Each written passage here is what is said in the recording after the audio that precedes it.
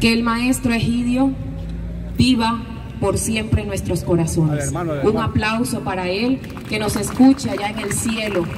La alcaldía de Villanueva. La Guajira rindió un sentido homenaje a la memoria del rey vallenato Egidio Cuadrado en la glorieta del acordeón, donde se colocaron ofrendas florales y una cinta morada en su escultura. A este acto se sumó la Fundación Cuna de Acordeones, destacando de Egidio Cuadrado su talento, sencillez y el buen corazón del rey vallenato de 1985. Egidio Cuadrado, quien murió a los 71 años, el lunes 21 de octubre en Bogotá por afecciones respiratorias, recibirá hoy cristiana sepultura en la capital del país. Su velación se lleva a cabo en la capilla número 6 de Jardines del Recuerdo y a partir de las 4 de la tarde será su último adiós en Bogotá.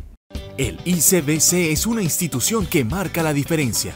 Prestamos servicios como cardiología clínica, cardiología intervencionista, programa de cirugía cardiovascular, hemodinamia, electrofisiología e intervencionismo neurocardiovascular, vascular periférico, métodos diagnósticos destacando cardiología no invasiva.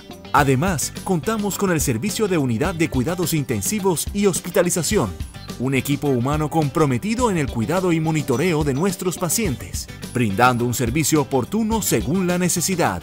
Nuestro lema es Por el corazón del valle. Le ponemos el corazón para el bienestar de nuestros pacientes. Somos el Instituto Cardiovascular del Cesar.